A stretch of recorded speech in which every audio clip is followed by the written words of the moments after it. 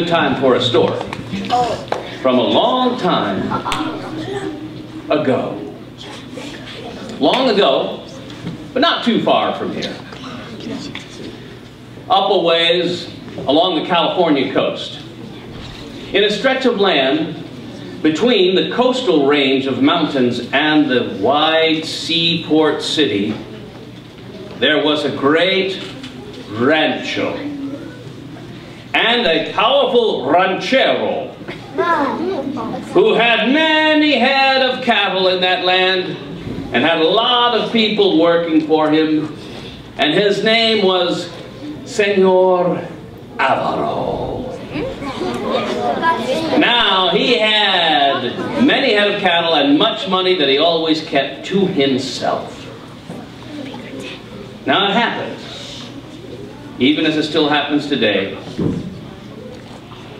that oftentimes poor people from the countryside would decide to try a new life, go on a journey to the city, to have better fortune in the city. So oftentimes there would be poor travelers coming down from the mountains and the hills towards the great seaport city. And oftentimes they would come through this rancho looking for a place to sleep for the night and maybe for a meal so that they could continue their journey. So that the people of this rancho had a saying to any stranger coming their way. They would say to them, My friend, here you are going to find that it is much easier to drink from a tiny thimble than to try to drink from a giant cauldron. and what they meant by that was, my friend, in this place you're going to find more help and charity from the door of a poor man who may have very little to offer but will give it freely than you will get any kind of help from Senor Avaro, who had much and would never share. Now, it happened that there was one poor family on that rancho, Manuel and Maria. They had worked hard over the years to become independent, to live in their own way and make their own living. They had gotten themselves a cow, and the cow gave them milk, and then cream, and then butter, and then cheese. And from that cow, they were able to make enough goods to trade in the market, to make enough money to own the land they lived on, and be independent. And so they lived together poorly, but happily, and any traveler that came to their door who needed shelter and food for the night would be warmly welcomed in, given a fine home-cooked little bit of a meal with some bread and cheese and a dry place to sit to sleep upon by the hearth. And then the next day, that traveler would be sent on their way with good wishes for better fortune in their future. And so Manuel and Maria were happy together and in love together, and in time their love blossomed and bore fruit, and little Rosa was born to them. But a strange thing happened on the day that Rosa was born. The land began to tremble and shake. It's been known to do that in this part of the world from time to time. And when the earth quaked, the ground cracked. And up from the dry desert ground, there came a cool, clear spring of fresh water. Fresh water to bathe the newborn baby, to grow a good garden, to share with their neighbors. And they saw that fresh spring of water on their land as a sign of good fortune for their new family. Ah, but Senor Avaro saw that spring of water as a sign of much, much more. He thought, ah, those fools. They do not know the value of the water they have on their land. Water in this desert is so important. And yet they, they give it away freely to their neighbors? Pah! You know, if that were my land and that were my water, I would make people pay and pay dearly I would make so much more money if that were mine, if it were mine, if it were mine. But it was not his.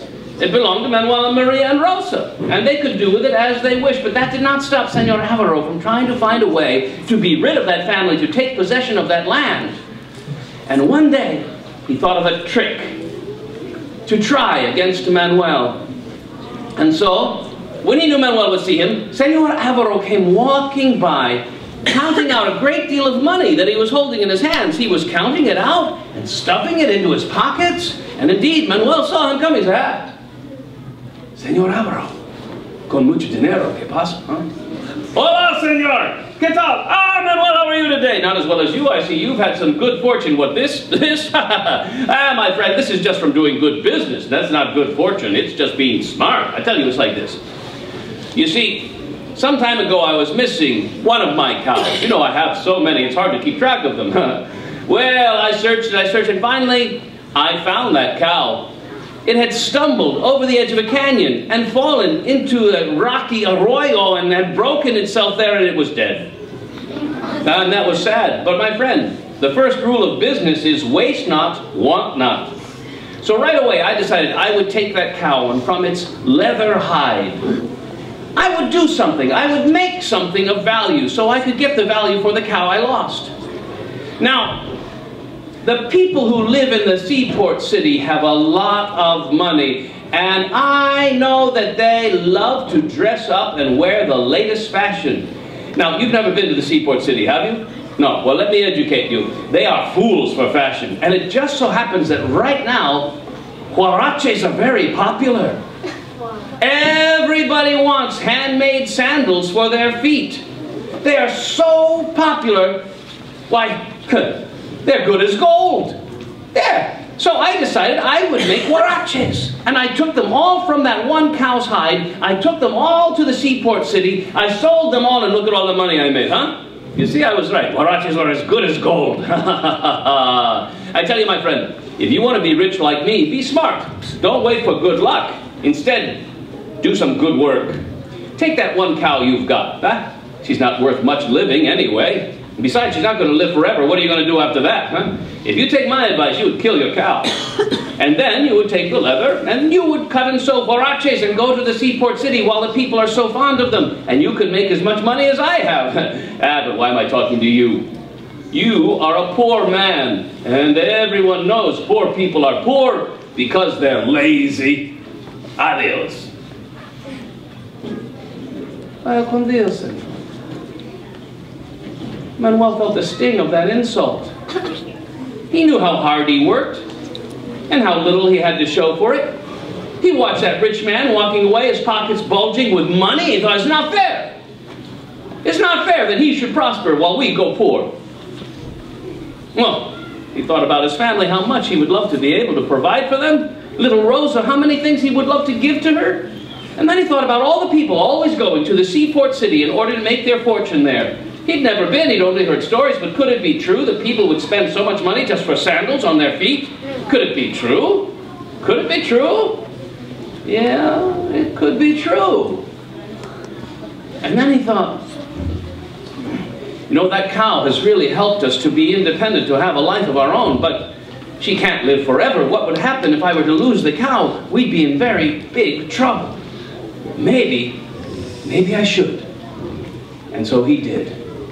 He acted on the bad advice of Senor Avaro. He killed their cow, and now they had no milk or cream or butter or cheese, but he had the leather. And with that leather, he began to cut, sew, and work until he had made as many different sizes as possible of huaraches to sell in the seaport city with a dream of huaraches as good as gold. When they were all done, he bound them up together into a big bundle. He put them onto his back, and he said goodbye to his family. He headed out early in the morning in the dark to make his way to the seaport city in order to sell his sandals and become a rich man too. Now the way traveled from the mountains to the sea was not easily traveled on foot. For there were winding paths, and there were steep canyons and dry river beds, and if you slipped and you fell, you would be lost and no one would know where. But Manuel was so full of hope for his good fortune that he stepped quickly and carefully and lively and he made his way to the seaport city. And there he was amazed. Oh, there was the great harbor and beyond the wide ocean. He had never seen such a sight. There were these huge boats rising and falling on the great swells, their sails billowing in the wind and the seabirds singing all about their decks. And then he looked to the city, and there were these wide avenues coming from every direction. And on all of the avenues, so many people. There were carriages and caballeros, and there were so many fine dressed people, and so many tall buildings. He thought, oh, it's true. It's true, all that I have heard. This is a place where I can make my fortune. So he found an avenue where there were many other peddlers just like himself, offering their wares for sale. He put his huaraches down, he spread them out on the sidewalk, and he thought, I will be a rich man by noon. and he offered up his sandals for sale. Hey! Hey! Hey! Hey! Hey! But by noon, he'd sold none. He looked up and down the avenues. He saw that every now and then someone would stop and try to haggle with one of the peddlers and try to talk them down in price, cheap and cheaper. And by the end of the day, he managed to sell one pair of sandals for two bits. And when the sun sank on that day, something sank in that man, for now he realized what he had done. He had he'd ruined his family.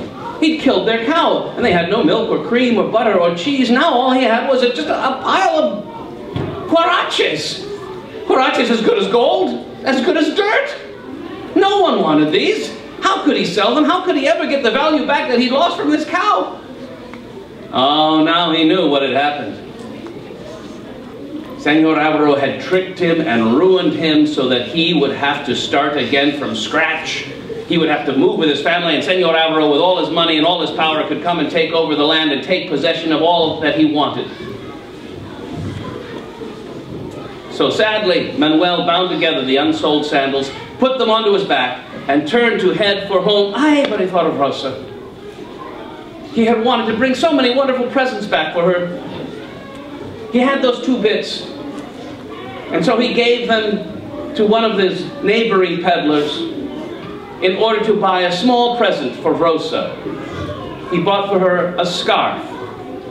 A scarf as red as rose. And he thought, I hope this helps to keep her warm in the cold days that are ahead for us now. And so sadly, with his burden on his back, he turned and he started to walk away from the city, back to his small home up in the mountains. Ah, but the wind that night came down hard and cold from the mountain peak. It chilled him so he felt like he could not make his way unless he could get warm somehow. And so he took the scarf he bought for Rosa and he put it on his own head. Ah, and that gave him some comfort. Ah, that helped him a little bit, at least to cover his head, but still the wind whipped at his face and his chin. So he pulled his collar up about his face Oh. And with his bundle on his back, he walked against the wind. then he heard some laughter off in the distance. And then he saw a little sparkling light of a, a campfire. And there were some men standing around the campfire, and they were laughing, and they were eating. And he thought, maybe these men will be kind to me as I have been kind to travelers too. Maybe they will let me get warm by their fire and have a little something to eat so I can get the rest of the way home. And so he turned from his path and he walked towards that fire and he called as he walked, Hey! Hey! But what he could not tell was that standing by that fire were bandits, desert pirates two-faced men who would offer a traveler a helping hand and then stab them in the back and take whatever thing of value they had to offer. They were cruel, murderous men, and they were laughing indeed as they stood by their fire about telling each other about all the evil things they'd done in their day. For there at their feet was all their pirates' plunder all that they had taken so rudely and roughly from innocent travelers. There was cash and coins, jewels and gems glittering by the firelight. Oh, they were hard-hearted men used to a life of theft and murder. But you know, they say, even the very hardest heart has a small spark of conscience at its core that knows it has done wrong. And maybe it was that little spark inside their hearts that lit a fire within them as they looked up from their camp and out into the night and they saw a strange figure approaching them on the winter wind. Hey, hey, I see something coming here. Stop. Stop. Hold on a second. I think I, I think I see something moving out there. You see something? Whoa, yeah, look. There's a, there's a thing out there. He's walking around, but it don't got a head on it. He got a red bloody stump where and that's where its head's supposed to be. How do you walk around? You ain't got a head. You that's not natural. You got what are you talking about? You don't know what you're talking about. Yeah. Look at that. Got a big hump on its back too. I don't like to look at that thing. Yeah. Hey, you some locals, huh? You don't know what you do. Oh yeah. I see what you mean. What's that noise it's making? Waving that claw around? That don't look real. I'm saying I don't, I don't like to look at that. I don't like it either. Uh-uh. Well, as they studied this strange figure that was walking across the night, they saw a monster, humpback, headless, a red bloody stump where its head ought to be, one clawed arm waving in the wind and a terrible moan coming from its belly straight towards them. well, it was Manuel. Had Rosa's scarf on his head, his collar about his face, his bundle on his back, and he was calling out,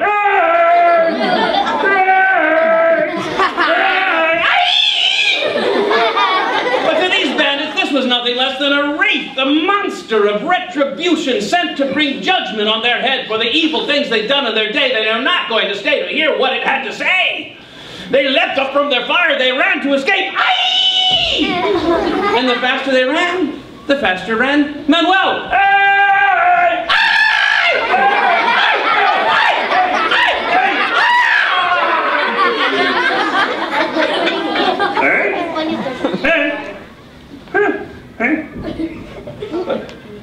In their blind panic, those bandits had fallen over the edge of a canyon and disappeared into the stony base. Oh. And Manuel, losing sight of them, thought about that fire burning untended. He thought he'd better go back and wait for their return there. So he made his way back to the fire. He put down his burden. Oh, and at last he got himself good and warm in that cold desert night. Ah. Ah.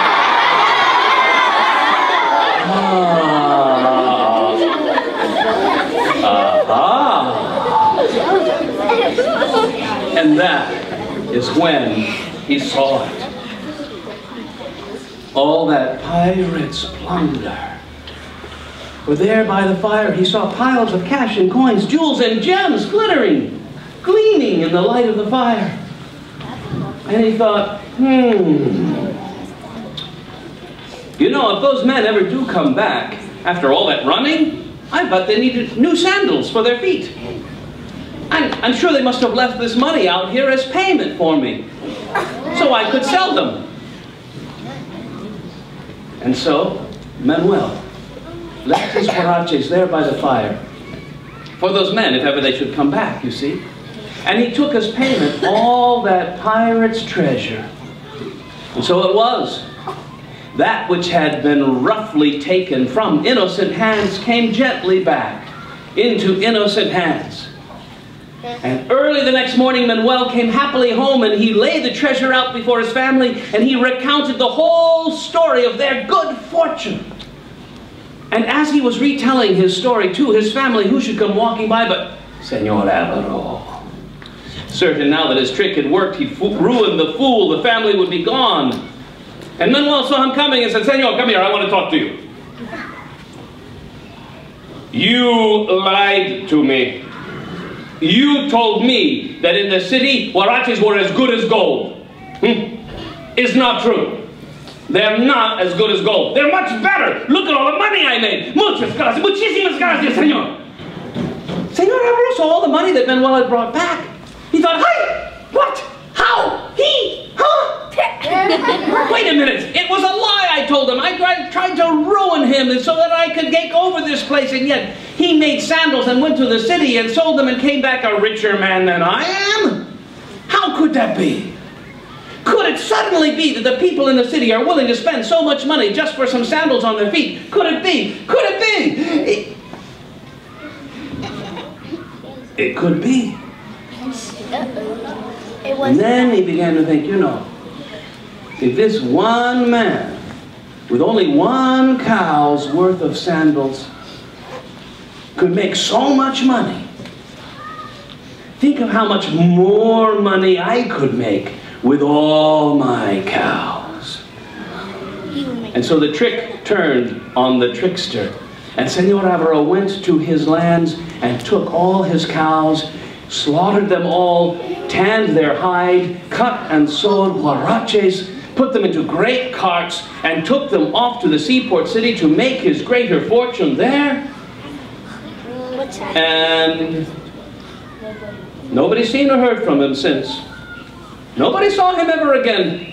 But I suspect that justice was done in its way. Forever after that time, any poor traveler coming through that rancho who needed shelter and comfort for the night would be warmly welcomed into the fine cottage of Manuel and Maria and Rosa, and then they'd be given a hearty, home-cooked meal and a nice soft feather bed to sleep upon for the night. And the next day that traveler would be sent on their way with good wishes for good fortune. And to be sure that they stayed on the safe path to good fortune, they would be wearing a new-made pair of huaraches. Huaraches as good as gold.